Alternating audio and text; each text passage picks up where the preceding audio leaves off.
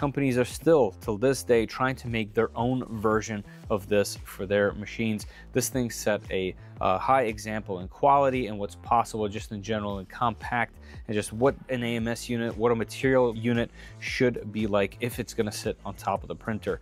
This thing was a game changer.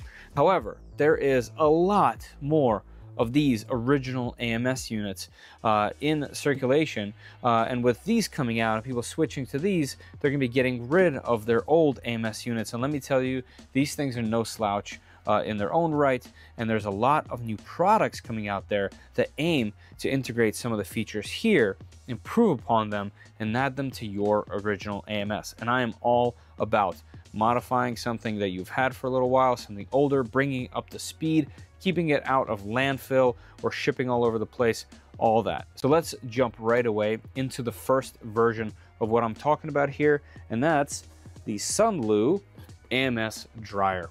And what this essentially is, is a powered lid. You open it just like the regular one, put your filament in, but you are getting two powerful fans, two powerful heaters, and a control module for humidity and heat, uh, as well as these uh, large exhaust uh, ports on the back. So the idea of this is you have a standalone heating unit for all of your filament, put whatever you want in there, start it up, vent it so all the heat comes out of it uh, along with all the moisture, gets sucked out of the filament and you're good to go. It takes the idea that Bambu Lab had here to integrate this and kind of turns it to the next level and yet lets you keep your original AMS.